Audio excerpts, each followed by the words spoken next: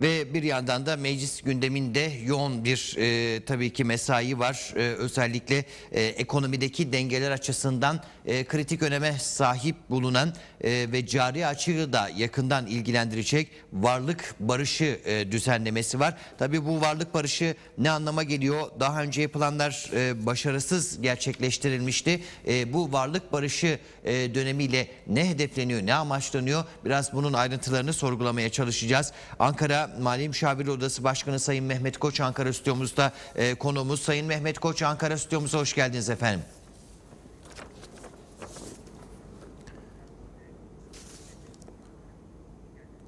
Teşekkür ediyorum. Ee, Sayın Koç, e, dilerseniz varlık barışı düzenlemesiyle hedeflenen e, gündem nedir? E, isterseniz onu değerlendirmesiyle genel olarak bir giriş yapalım ardından yine e, sorularımız olacak efendim.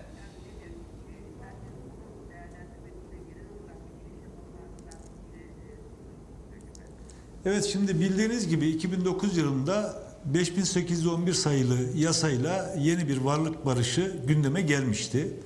O gün itibariyle hem yurt dışından getirilecek kaynaklar hem de ülke içerisinden ticari işletmelere konulan e, varlıklarla ilgili bir düzenleme getirilmişti. Yurt dışından getirilen varlıklar %2 oranında vergilendirilecek. Yurt içindeki varlıklar da %5 oranında vergilendirilecekti. Ancak e, o dönem yapılan düzenleme başarıya ulaşmamış olacak ki yaklaşık bildiğimiz kadarıyla sonuçları açıklanmamakla birlikte 26 milyar civarında bir kaynağın ekonomiye kazandırıldığı noktasında bir tespit yapıldığını biliyoruz. Ancak aradan çok kısa bir süre geçmiş olmasına rağmen şimdi ikinci bir varlık barışıyla ve vergi affıyla karşı karşıya olduğumuz söylenebilir. Tabii ki şimdi bu dönemin özelliklerine iyi bakmak lazım. Geçmiş yıl itibariyle Türkiye sürdürülemez bir cari açıkla sizin de söylediğiniz gibi karşı karşıya kalmıştı. Olası bu dönemde e, cari açığın gayri safi milli hasılanın yüzde sekize yakını olabilecek bir büyüklükte devam edeceği noktasında tespitler mümkün. Ancak bir diğer de bir gerçeklik var. Tabii ki Türkiye daha üç gün öncesinden siyasi iradenin söylediği gibi 2014 yılında 3 sandık gündeme gelebilir. Yani 3 seçimle karşı karşıya kalabiliriz şeklinde bir değerlendirmeler yapıldı. İşte böyle bir ortamda yurt dışındaki varlıkların ekonomiye kazandırılması noktasında bir girişimle yeniden bir varlık barışı kanunuyla Türkiye yüz yüze gelmiş oldu. Bu sadece bir varlık barışı kanunu değil, aynı zamanda bir vergi affı niteliğine bürünmüş durumda da görünüyor. Zira buraya gelmişken niçin, niçin böyle diye baktığımızda şöyle diyebiliriz. 1 Ocak 2013 tarihi itibariyle incelemesi başlamış, devam eden ya da takdir komisyonunda herhangi bir şekilde matraf hakları ortaya çıkmış olan vergi incelemeleriyle ilgili de e, varlık barışında beyan edilen değerler mahsup edilerek arada bir fark varsa bunun gelir ya da kurumlar vergisi veya katma değer vergisi ödenecek şeklinde bir düzenleme var. İşte aslında olaya bu yönüyle baktığımızda varlık barışı kanunu aynı zamanda bir vergi affı niteliği de taşımış oluyor. Şimdi gelelim yurt dışındaki kaynakların Türkiye'ye getirilmesi ne anlamı ifade ediyor? Şimdi hatırlayacağınız üzere Şubat ayında kara paranın önlenmesine yönelik, terörün finansmanına yönelik ve kara paranın önlenmesine yönelik bir yasal düzenleme meclisten çıkmıştı. Ne yazık ki aradan iki aylık gibi kısa bir süre geçmiş olmasına rağmen yurt dışındaki varlıkların milli ekonomiye kazandırılması noktasında eğer Türkiye'ye getirilebiliyorsa getirilen kaynakların bir kısmından hiç vergi alınmayacak. Bir kısmından da eğer getirdiğiniz para döviz, para, altın veya menkul kıymet cinsinden bir varlıksa bunların da işletmelerin aktifine kaydedilmek kaydıyla yüzde iki civarında bir vergilendirmenin yapılabileceği noktasında ve nereden kazanıldığı, nereden elde edildiğine bakılmaksızın herhangi bir incelemeye tabi tutulmaksızın yurt dışına, yurt içerisine getirilebileceği öngörüldü. Şimdi daha iki ay öncesinde hem kara paranın mücadelesiyle ilgili bir yasal düzenleme çıkarıyorsunuz. Aradan iki ay geçmeden yurt dışındaki kaynakların Türkiye'ye getirilmesinde herhangi bir incelemeye tabi tutmayacağını söylüyorsunuz. İnsanın aklına şöyle bir şey geliyor. Ya Türkiye ekonomisi 2014 yılında seçim sürecine girerken söylenenlerin aksine çok kötü performans gösteriyor. Seçim ortamına çok rahat bir ortamda girmek isteyen, iş talebin canlandırıldığı, yatırım ortamının iyileştirildiği, yurt dışından gelen kaynaklarla sizin de söylediğiniz gibi cari açığa bir önlem teşkil edebilecek bir yapılanmayla girmek istiyorsunuz. Ee, insanın aklına bundan başka bir şey gelmiyor. Sanki varlık barışı aynı zamanda bir seçim yatırımıymış gibi de algılanıyor. Şimdi ben işin teknik yönüne girmeden gerçekten bu yönü çok önemli olduğunu düşünüyorum. Eğer siz daha bundan önceki vergi aflarından kısa bir süre geçmişken, ödemeleri bitmemişken ikinci bir vergi affına yönelik bir düzenleme getirirseniz artık vergi toplama noktasındaki egemenlik gücünüzün de kaybedildiği anlamına gelebilecek bir sonucu da doğurmuş oluyorsunuz. Diğer taraftan, diğer taraftan bir düzenleme çıkartıyorsunuz. Devlet e, zor olan özünü biliyorsunuz kanunlarla ortaya koyar. Bir kanun çıkartıyorsunuz.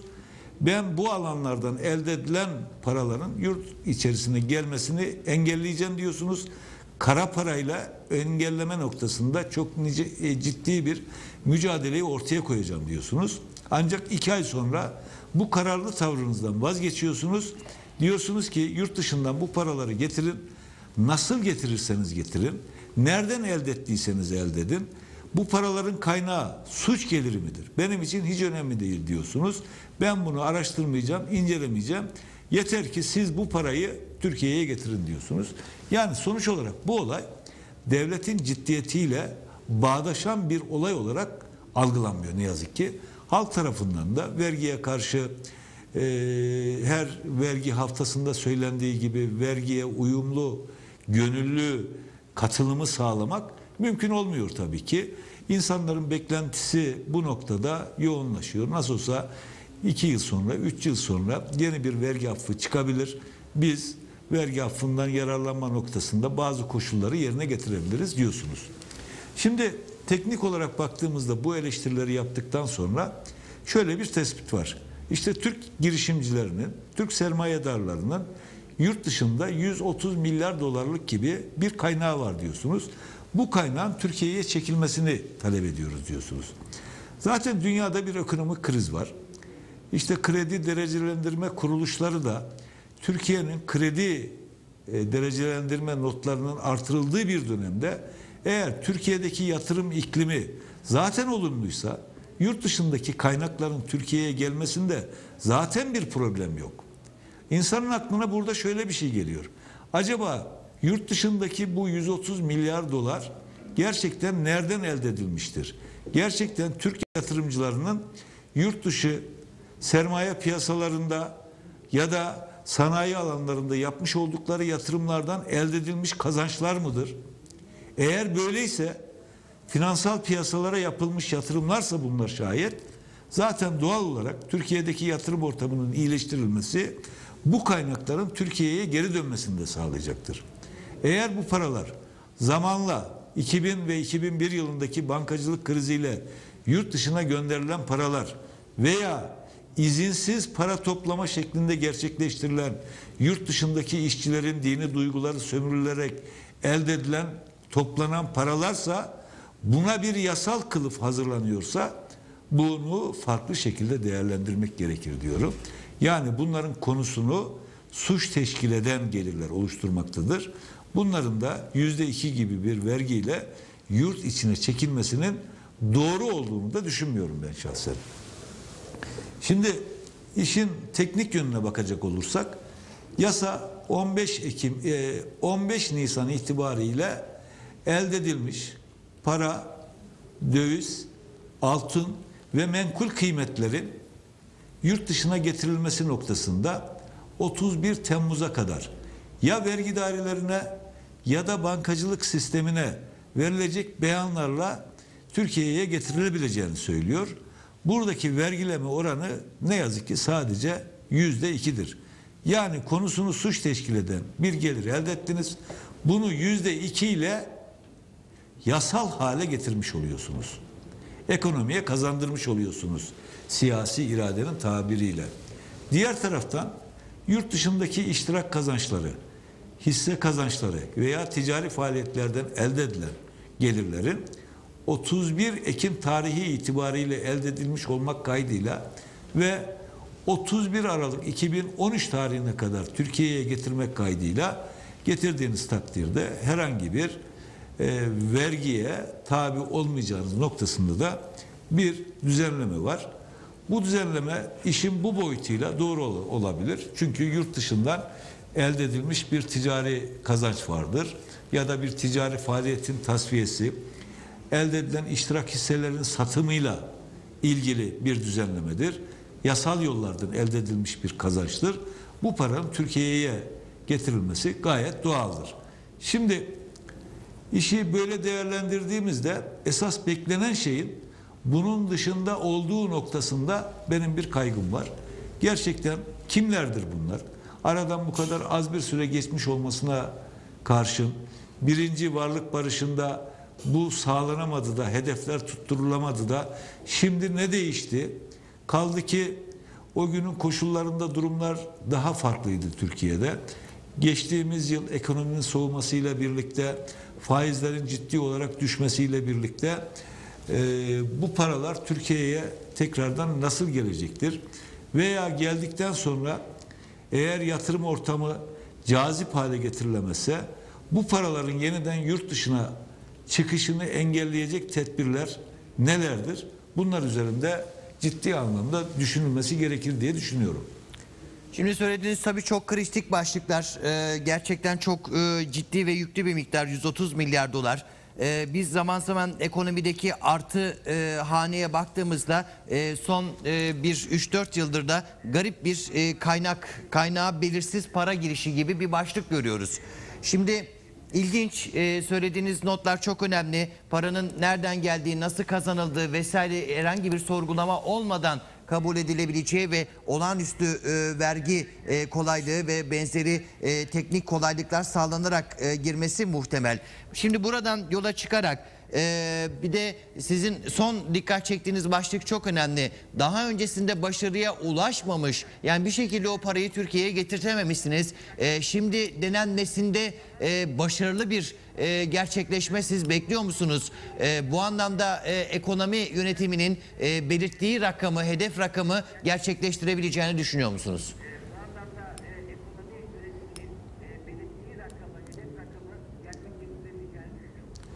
Şimdi şöyle bir şey var. Ya siyasi irade belli kişileri tarif ederek böyle bir e, düzenlemeyi gündeme getiriyor ya da 2013 yılı sonu itibariyle gerek cari açıkta sizin söylediğiniz gibi gerekse de ekonomik göstergelerde ciddi anlamda bir olumsuza doğru gidiş olabileceği tespit edilmiş olacak ki acilen böyle bir düzenlemenin çıkartılması hiç hesapta kitapta yokken tartışılmadan az önce söylemiş olduğum noktalardan birisi çok önemlidir. Bakın Şubat ayında böyle bir düzenleme çıkarıyorsunuz. İki ay sonra bunu yok sayan bunu ortadan kaldıran ikinci bir düzenleme yapıyorsunuz. Gerçekten söylediğiniz gibi Merkez Bankası bilançolarına baktığınızda Merkez Bankası bilançolarında net hata noksan kaleminde çok ciddi kaynakların olduğunu görüyorsun. Kalemlerin olduğunu görüyorsunuz. Burada 4,5 milyar dolar, 5 milyar dolar, 9 milyar dolar e, dönemsel e, tarihler olarak böyle paraların net hata noksan kaleminde gerçekleştiğini görüyorsunuz. Gerçekten bunlar e, gayri yasal yollardan ülkemize girmiş paralardır. Geçmişte bunu şöyle izah ediyordu e, ekonomistler. Bavul ticaretinden gelen paralar olarak değerlendiriyorlardı ağırlıklı bir kısmını. Geçtiğimiz yıllarda e, Orta Doğu ülkelerindeki yaşanan e, çalkantıdan, ayaklanmalardan, yatırım ortamının kötüleşmesinden dolayı e, bavulla Türkiye'ye girmiş paralar olarak da değerlendirebiliyorlar. Ama bu paraların ağırlıklı bir kesminin biz biliyoruz ki bıyıklı yabancılardan olduğunu da biliyoruz. O yüzden e, ya bir yer tarif ediliyor ya da 2014 seçimleri öncesinde ekonomiyi rahatlatma anlamında doğabilecek riskleri bugünden görüp e, cari açın kapatılmasına yönelik bu kadar paranın e, üretime yönlendirilmesi, iş talebin canlandırılmasına yönelik bir önlem olarak düşündüler diye düşünüyorum. Biliyorsunuz 2012 yılı bütçesi 28.8 milyarlık bir açık verdi. Eğer buradan gelecek rakam 25-30 milyar dolarlar seviyesinde olabilecekse bu çok büyük bir rakamdır. Türkiye ekonomisini uçuracak bir rakamdır. Eğer böyle bir kaynak gelecekse. Ama bu sağlanabilir, getirilebilir. 10 milyar dolar, 15 milyar dolar, 20 milyar dolar getirilebilir. Ancak devletin güvenini ne derece sarsacağını da sizlerin takdirine bırakıyorum. Sayın Koç tabii e, teknik olarak yaptığınız izahatta esasen e, bu anlamda bir e, kaynak girişinin e, ve bu kaynak girişine e, sağlanan kolaylıklar baz alındığında e, ve hedeflenen rakam baktığında e, gerçekten e, ekonomi yönetimi için esasında önemli bir maliyet olduğu da ortaya çıkıyor. Şimdi e, özellikle son birkaç gündür e, ekonomiyle ilişkin haberlere göz attığımızda aman sanayiyi kimseye ezdirmeyelim, büyümemizi kimseyle paylaşmayalım, not artışlarına dikkat edelim e, şeklinde e, hani bu süreci e, son derece pembe tablolarla gören isimlerin bile ciddi eleştirileri olduğunu görüyorum. E, ve 3 aşağı 5 yukarı bu varlık barışında e, getirilmesi muhtemel e, kaynağa ilişkin olarak sağlanan kolaylıklar zaten şu anda sanayiye sağlanmış olsaydı e, Türkiye'nin önü zaten bir yılda çok daha açık olurdu. Bunu niye sağlayamıyoruz? E, bu nasıl bir dengedir? Biraz da bize bunu özetleyebilir misiniz?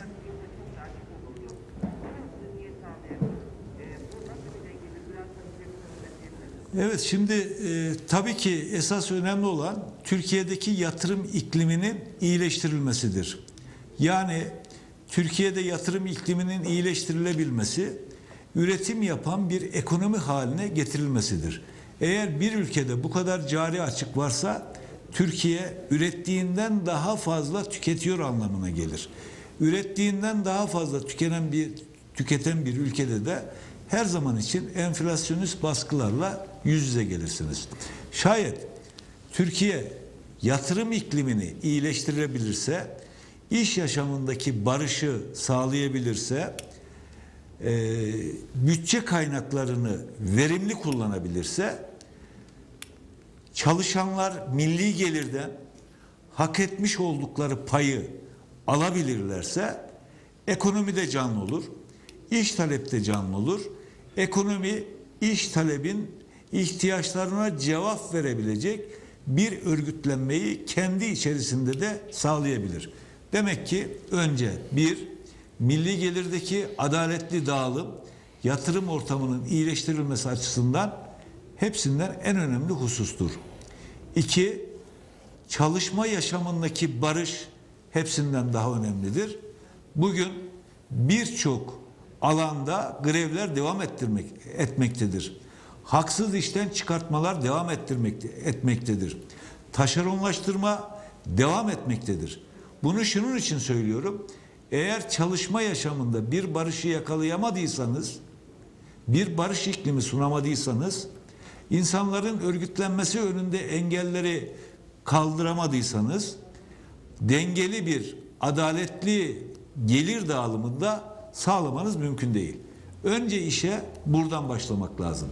Akabinde akabinde iş talebin ihtiyaçlarına cevap verebilecek bir üretim altyapısını sağlayabilmeniz lazım. Zaten bunu sağlayabiliyorsak biz yurt dışından gelen sermaye sıcak para kendisini Türkiye'de güvenli hissediyorsa önce bizim yatırımcılarımızın yurt dışındaki paralar gelir. Bakın burası çok önemlidir. Eğer Türkiye yatırımcısı, Türk insanı yatırımlarını yurt dışında değerlendiriyorlarsa Mısır'a, Hindistan'a veya gelişmekte olan ülkelere aktarıyorlarsa demek ki yatırım alanları orada daha cazip hale getirilmiştir. Eğer Türkiye'de kendini güvende hissetmiyorsa getirdiğiniz bu paralar çok cüzi maliyetlerle Türkiye'ye getirmiş olduğunuz bu paralar yine çok kısa süre içerisinde yurt dışına çıkışı sağlanacaktır.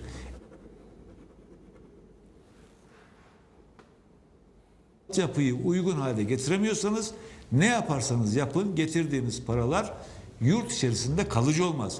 Kaldı ki sıcak para sıcak para dememizin nedeni de sürekli sıcak para geldiği ülkeyi de yakar geldiği ülkeyi de yakar çıkarken ekonomide o kadar dengesizlik oluşturur ki çıkarken de yakar. Onun için her şeyin önünde yatırım ortamının, iş yaşamının iyileştirilmesi yatmaktadır. Milli gelirin adaletli dağılımı yapmaktadır. Milli gelirdeki adaletli dağıtımı sağlayabilmek için de iş yaşamının örgütlenmesindeki antidemokratik hükümlerin kaldırılması gerekir.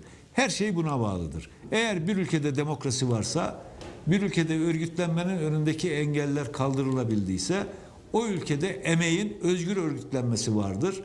Emeğin özgür örgütlenmesinin olduğu yerlerde milli gelirin adaletli dağılımı vardır. İş yaşamının sağlanabildiği bir ortamda da yatırım ortamının iyileştirilmesi vardır. Her şey buna bağlıdır. Eğer siz bunu sağlayamıyorsanız ne yaparsanız yapın bugün için getirirsiniz, bugünü kurtarırsınız. Yarın gelen kaynaklar yeniden yurt dışına çıktığında çok ciddi ekonomik sarsıntılarla da karşı karşıya kalırsınız. Ee, Sayın Koç tabii siz de dikkat çektiniz özellikle e, yabancı sermaye girişinin sıcak para ayağı e, çok dikkat çekiyor. Bu arada e, özellikle kendi bölgesine doğru gittiğine yönelik olarak da e, çok önemli veriler var. E, son derecede oynaktır. Gittiği yeri de girerken de çıkarken de yakan bir e, ekonomik e, modelin e, maalesef bir parçası oldu son dönemde. Şimdi sıcak paranın da bunca e, yoğun bir şekilde dışarı kaçtığı bir dönemde e, varlık barışından başarı e, beklenilmesi e, nasıl bir e, anlayış oluyor? E, ben bir de bunu anlamakta zorlanıyorum ama.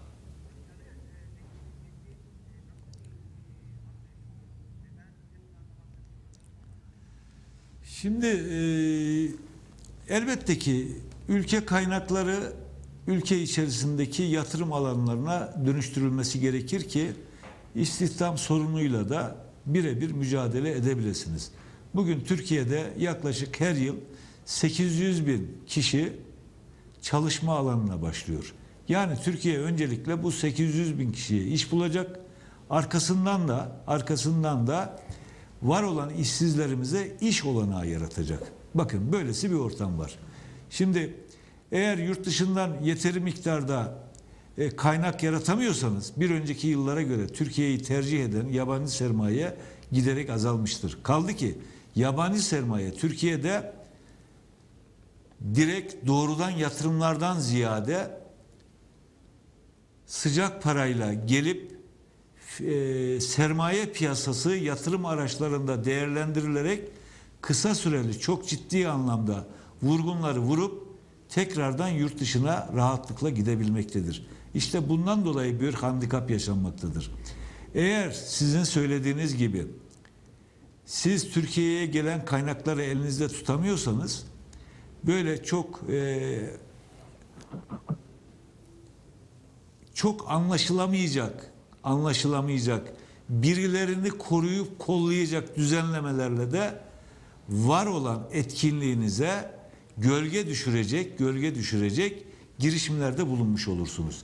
Gerçekten anlayamadığımız şey işin aslında budur. Ee, Türk girişimcisinin yurt dışında bu kadar parası olabilir.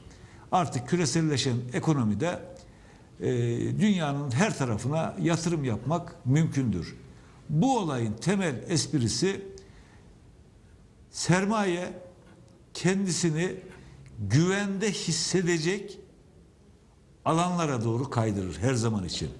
Yani milli sermaye ülkede kalsın anlayışı sermayenin getirisi açısından çok da önemli bir olay değildir. Sermayenin kazarı, kazancı bugün Hindistan'daysa Hindistan diye Hindistan'a gidiyor. Brezilya'daysa Brezilya'ya gidiyor. Rusya'daysa en yüksek getiriyi orada edilecekse oraya gidiyor. Yani proaktif çözümlerle bu olayı Türkiye'de tutmanız, sermayeyi Türkiye'de tutmanız mümkün değil. Az önce söylediğim koşulları yaratabiliyorsanız sermaye Türkiye'de kendisini güvende hissedebiliyorsa, sağlıklı bir yatırım ortamı yaratabiliyorsanız, bunu sürdürülebilir kılıyorsanız o ülkede istihdam da yaratırsınız. Uzun soluklu direkt yatırımları da gerçekleştirebilirsiniz. Sermayeyi ülkede de tutabilirsiniz. Temel etken budur bence.